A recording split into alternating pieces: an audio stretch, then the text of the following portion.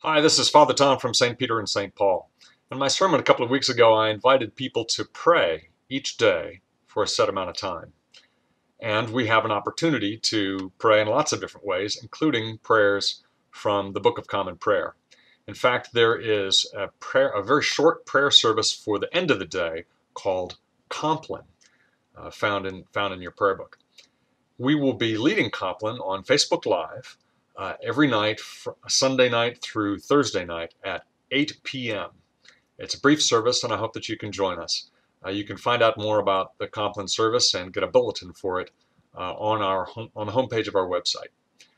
And as we say in, in Compline, guide us waking, O Lord, and guard us sleeping, that awake we may watch with Christ, and asleep we may rest in peace. Amen. God bless you.